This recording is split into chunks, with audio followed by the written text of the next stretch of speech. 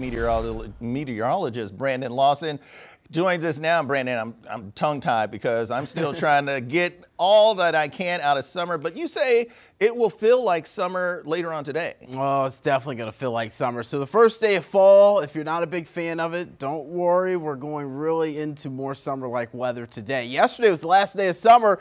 And it certainly felt like it outside. 87 degrees was the high temperature yesterday. And it felt like near 90 in some locations. We factored in that humidity and that strong sun we had yesterday. So hopefully you're using some caution outdoors. You'll have to do the same today. Drink plenty of water. We're starting in the mid to upper 60s. Charlotte still at 72 degrees this morning, so definitely a mild start to our first day of fall. Up in the mountains, Boone at 55, 61 to Jefferson. Feeling a little bit more like fall up there, but it's still going to be mild for them even later this afternoon. Festival in the Park continues today. Festival in the Park continues today at Freedom Park. 76 degrees at 10 o'clock. We'll call it about 87 degrees by 4 o'clock this afternoon. So going to be toasty again today. Again, Festival in the Park runs until about 5 o'clock this evening. High temperatures, taking a look at it, 90 is what we'll reach today in Charlotte. We're looking at 90 in Monroe today. I think Rock Hill and also Chester will get above 90 degrees. Maybe even areas like Sherrall could reach that. Most of the rest of the region will stay in the upper 80s.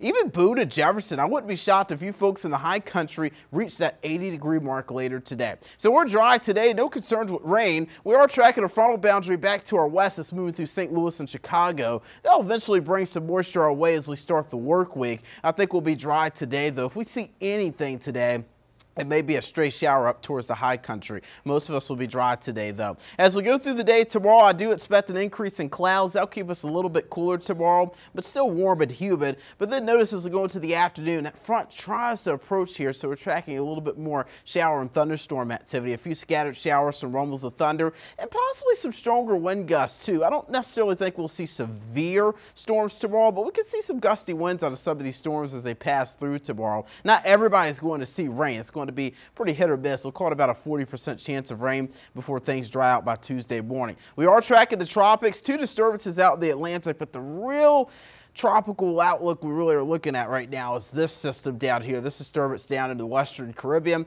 and through the southern Gulf. It's likely going to become Helene later this week, and as it becomes Helene, we're going to have to watch it. It's going to track through the Gulf of Mexico, but notice there's still a lot of uncertainty with this track. So we know it's going to be Helene later this week. There's just uncertainty about where Helene's going to go. Now, there could be some possible tropical rainfall for us late this week. We'll keep an eye on it for you as we get a little closer to that. Tomorrow's forecast will start around 70 in Charlotte. Going to be a mild start to the day. More clouds. I do expect some scattered showers and storms for the afternoon, though. First day of fall for the region. We're looking at 79 degrees the mountains, possibly up to 80 in some locations in the high country. Higher chance for rain as we go into tomorrow across the mountains. I do think we're cooler though. We're cooler for the Charlotte area starting tomorrow, 84 degrees with some scattered storms.